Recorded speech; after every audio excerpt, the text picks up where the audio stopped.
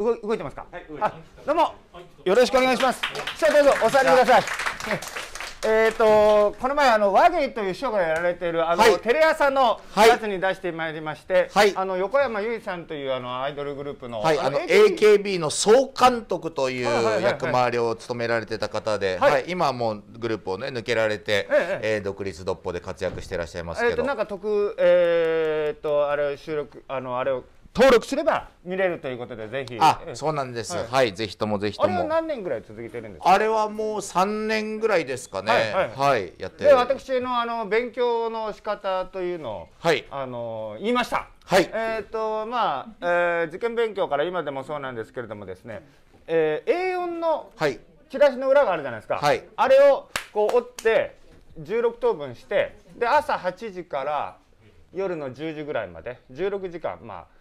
稽古とか勉強をするわけですけども、はいまあ、45分こう、まあ、前の日の夜に大体課題を決めるんですけど、はい僕やって、えー、45分やって15分必ず休むんです。うん。ね、休むことによってこう長時間勉強ができるというでも休んでる時にこうあーとかトレーニングしてるわけでしょ。そうです HIIT と言いましてハイインテンショナルかな形容詞だからハイインテンショナルインターバルトレーニングと言いまして、はいヒットというふうに訳すんですけども、えー、と例えばですねまあこれやややりますとですね、はい。30秒。あ、はい、30秒をはい、一、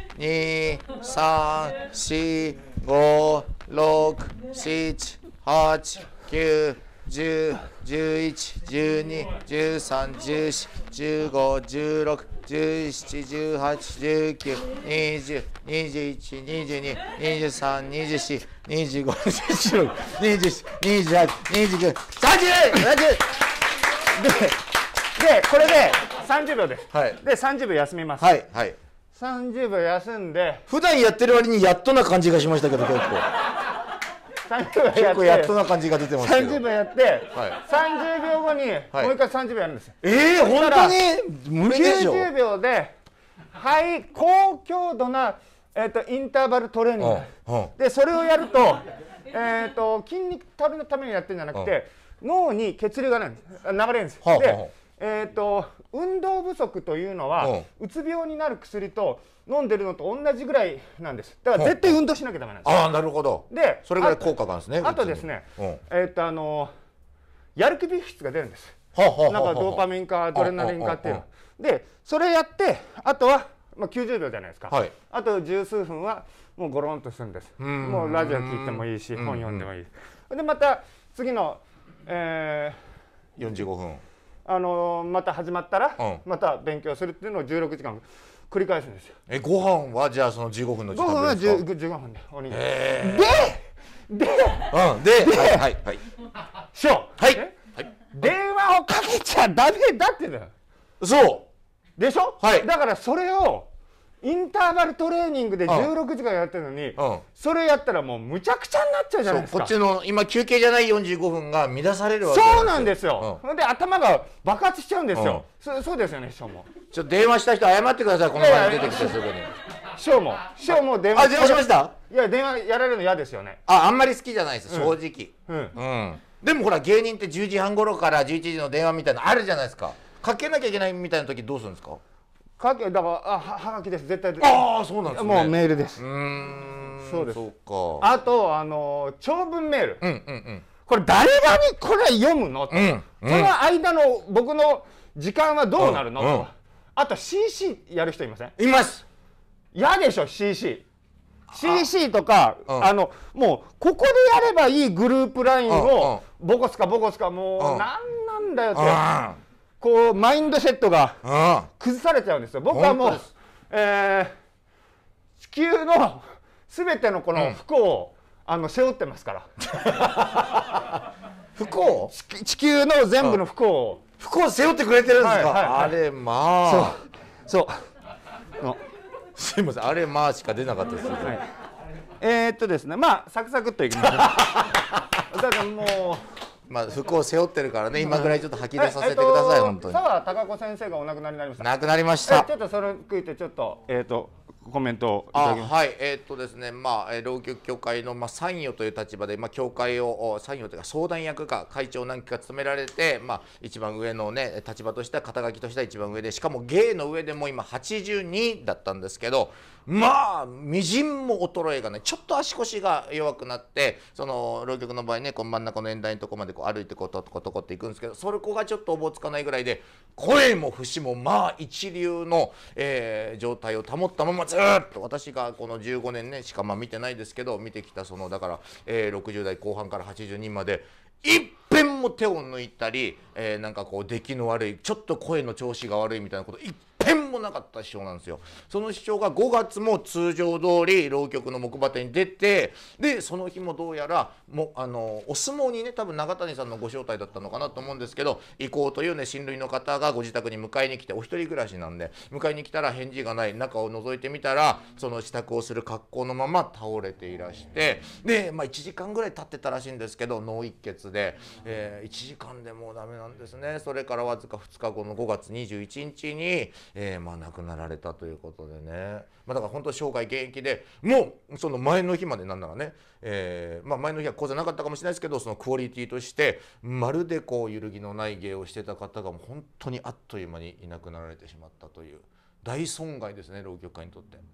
いやー今のお話伺ってこんなこと言ったら日本人の常識にとって失礼なのかなと思うんですけど、こうこうじゃなくて、うん。こうはいいことなんじゃないですか？まあ、でそうなんです。あのある意味だから本人もまあ変な話、まあ、心残りあると思うんですよ。その弟子の今年ね大名跡の襲名が決まってたんでその工場まで並びたかったはずなんですけどそうなんですよ。それが絶対にあるんですけどでもまあその話だけはこうつけていかれたのでまあ結構その襲名自体も私から見るとかなり唐突な「え今そあの子に継がせちゃうの?」ってもうちょっと頑張んないと難しいんじゃね？って思ってたところを急に「大工さんお願いねちょっと今はうちの隼人まだまだだけどちょっと継がせることにしたわ」なんてのを、えーまあ、今年入ってからだったと思うんですけど聞いてで何をそんなに急いでんだろうなって気はしてたんですよ。じゃあ自分でこう知ってたんですか？まあ、もしかしたらですけどね。え、な隼人さんがなんかつくんですか？あえっと東京にも隼人っていうのがいまして勇ましい人がいるんですよ。ああ、前々隼人さんじゃない。じゃないいあの沢隼人ってねこれもまたなかなかいいですからは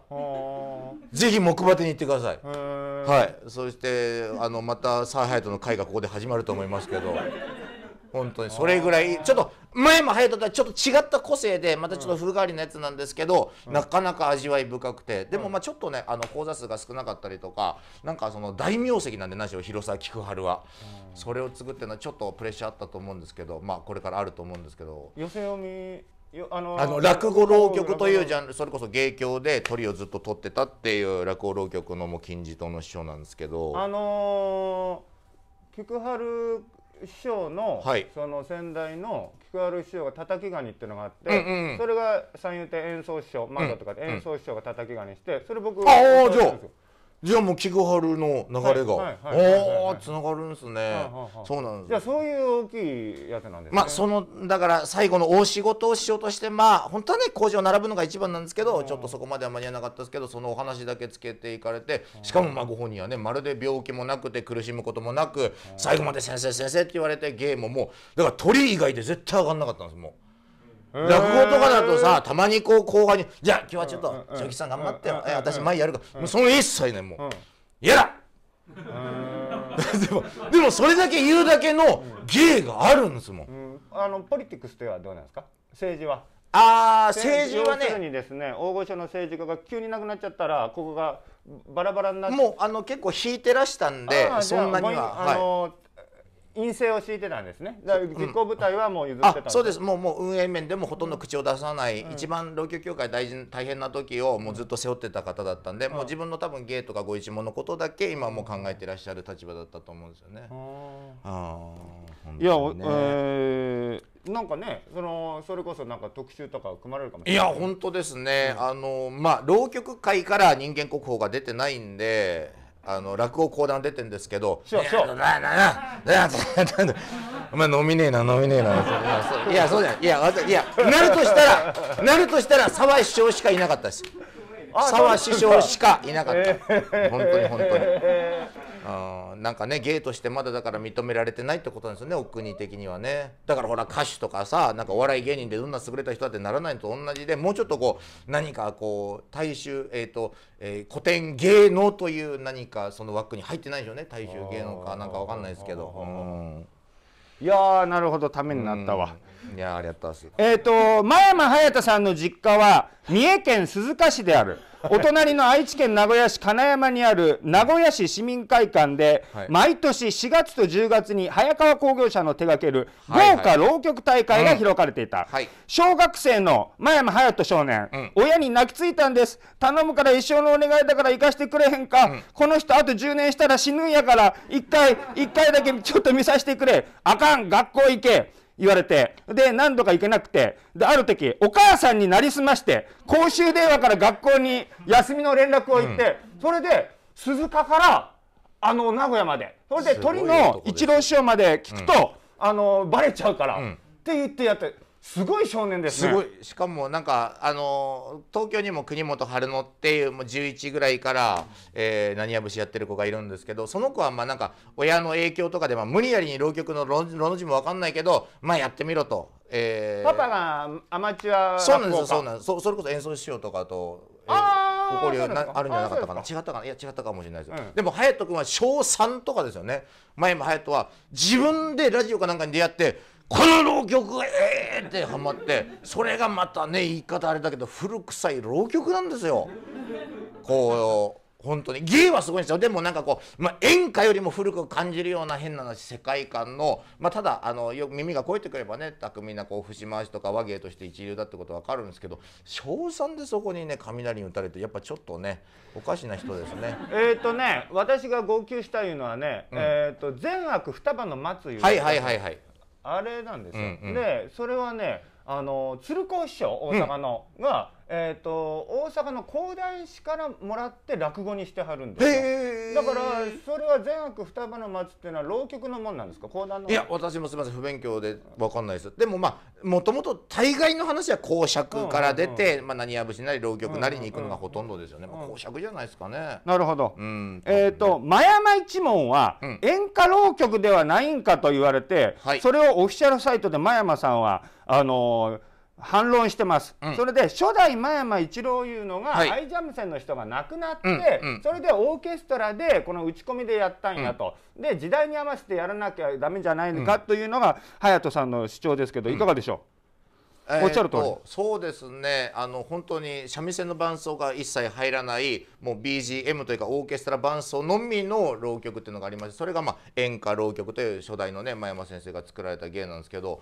まあおっしゃる通りそれまでは三味線でやってたんですよね。それがまあ亡くなられただけなのかなんかあとはね三味線なんかなしでもやったらみたいななんかそんな逸話も聞いた気がするんだけどまあとにかくもう三味線なしでそのうじゃんじゃんえっとバンバンオペレーターがいるんですか？そうです。オペレーターというだからあの面白いですよ。あの普通浪曲師曲師玉川峰子今日だったら伊丹明とかってなんですけどえ真山隼人。オペレーター真山なんちゃらとかね、えそういや音響さんでしょみたいなのなるんですけどでもそれぐらいだから例えば「おおそろそろ出発しなきゃいけねえ」なんて言うと「ポッポー」みたいななんかそういうなんか汽笛が鳴るみたいな。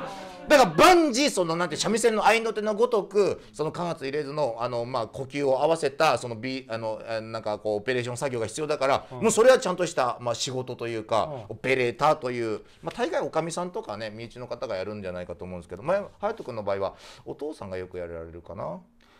お父さんがオペレーションやる時もあるんですか？確か隼人君はお父さんがやってる率高かった気がしますね。えー、さくらさん、2020年第18回上方舞台裏方大賞。お。令和2年度大阪文化祭えー、奨励賞を受賞してまあ、さくらさんすごいのと、でこれ、前山さんの発言、これね、26歳の人が言う発言とは思えないですよ、一人一芸を追求するのためには、何代目という襲名はやめた方がいい。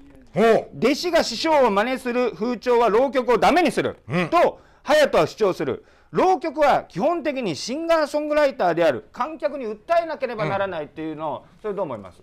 その通りだと思います。ええ？じゃああの伝統はあるんだけど、基本的にエンターテイナーとして自分で作っていかなきゃいけないんだなというふうに先生はお考えですか、もちろんです。あのもともと浪曲がそうでただどっかからやっぱりあのすごい和芸というか完成したものがあるとそれをこうただ形で受け継いでいくことが大事だって落語もそうじゃないですか。型を重視する一門とのびのび自由にやりなさいとい。ろいろあると思うんですけどうちの一門なんかは基本的に、えー師匠の真似をするなという一門なんですけど片や他の一門ちょっとあげませんけどうんそんな書いたら絶対あかん。まああかんっていうとちょっとね絞られちゃうんですけど。はいあのね。えハングリー精神が、ね、前も話した、ーはい。ハングリー精神が足りないわけですよ。もっと貪欲に、例えば福太郎師匠のように、寿司屋に飛び込みで行って、ん。カウンターの上でもいいからやらせてくださいと、頭を下げてでもよう浪曲をやらなきゃいけない。うん。すごいな、うん。この人。いやまあうちの師匠がすごいんですけどねそれは。え、えっと、福太郎師匠も、はい。そうやってもう、どんどんこう待ってちゃだめなんだって、もうどこでも頭下げてやだかららせ浪曲は、まあ、前世の頃は大会といってですねその1,000人2,000人の大ホールで超一流のそれこそ真山一郎、えー、三代目勝太郎あざ初代浦太郎とか、もう一流のだから寄席で鳥を取るような人たちが全員ずらっと並んで全員30分やるみたいな、もう食い合いのね大会っていうのがもう興行のメインの形であったんですけど、そこに入れる人なんてもう決まってるわけですよ、席がね。でそうなると若手でいくら有望ったってなかなかそこに出られないで大きな会ばっかり、ね、仕事ばっかりで、えーこっちは仕事がねどうしようって時にじゃあもう小さくても何でもいいからどこへでももう勉強会というか、えー浪曲やんなきゃこう廃れちまうしお客さんもつかないみたいので、まあ、スナックに飛び込んだり、えー飲み屋さんに行ったりとか、今のまあ若手がやる当たり前ですよね、カフェでもどこでもやるじゃないですか、我々が、そういったことをまだ誰も浪曲会でやってないような時に、えー福太郎の勉強会っつっても場所構わず、ちっちゃい会場でもどこでも、えーそれこそ楽しそれこそだって人んちでやってたんですから。で月刊浪曲って当時の見ると、えー、玉川福太郎のとこだけ出演の数がめちゃくちゃ多いんですけど、えーどこどこの、えースナックなオレンジ、えーなんとかかんとか、その中に後藤拓ってのうん。ただのこれ足立区の後藤さんの家なんですよ。はがきのコーナー。なんか言ってもらっていいですか？後藤さんに対して何か言ってもらえます？えー、杉並区の松田さん、はい松田さんありがとう。もうすっかり夏ですね、今年の夏は何をしたい、どこへ行きたい？などの計画はありますか、こんな質問あるんですか？あじゃあ今年の夏。長期師匠答えてくださいよ。今年の夏はいは、い、や、だから、そのもう、はまや隼人さんのやつで、桃川をやって、うん。で日本橋で、えーっと、の宮戸川の投資をやって、うんうん。それから8月にまた苔国交でだからもう苔国交の,、うん。あの対決です。夏は、ああそうですか、うなぎの太鼓やって師匠はあじゃあのもうそんなプライベート。16時間の稽古ばかり何もこう、うん。娯楽はない、はいはい。あそうですか、師匠は師匠は。夏休み。私はそうですね。あのやっぱりあの温故知新に向けて。はい。もうねこちら様も苔ごっこのことしか考えてませんけど私は温故知新がもう全てだと思ってるんでね本じゃああと 3, 三個あと2分あるから3個。足立区のとしさん。前山隼人さんが浪曲の台本を書く時はい。の作家名を末広がりの蜂と夢を書きか体型をネタにして内田ハムとしていると伺いました、はい。大福師匠は地べたの2人シリーズなど新作も多く書かれていますが作家名はありますか？またつけるとしたらどんな作家名しますか？あ作家名ないです。玉川大福です。はいつけたくないんですか？あ別になんかそんあれなんかなこだわこの中りないですね。でもいろんなねあの作家としてもやってる方もいらっしゃいますけども。だから浪曲師って本当にシンガーソングライターなんですね。まあでもやっぱりこう書くってちょっと一つ能力であの歌手の人でもねやっぱり歌い手としても超一流の人もいれば、まあ、曲を作って歌詞書いてっていうそれこそシンガーソングライターと2つあってそれ優劣ないと思うんですよね。だって美空ひばりさんなんかシンガーソングライターじゃないんだからでも一流じゃないですか。だから浪曲も同じでもう表現者としては超一流だけど自分で物語こさえられないみたいな人がの人が昔圧倒的だったのそうすると浪曲作家というつまり作詞作曲家みたいな人が出てきて、えー次から次へと物語を書いて浪曲の稲田さんみたいな。あ稲田さんみたいな人がもう何十人っていて、でもうバンバンバンバンそういう人が新作というか創作で作ったものを、えーレコード会社から出したり、えーラジオで吹き込んだりしてたっていうだから歌の近世界に近かったのかもしれないですね。えー、と最後渋谷区の国枝さんから。国枝さんまたかえーえーと僕はこんにちははい先日、僕は、はいえー、と 僕は土やってるじゃんもう。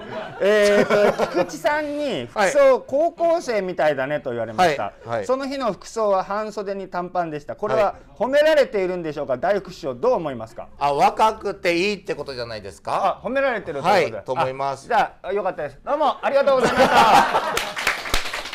じゃあポチッとして。はい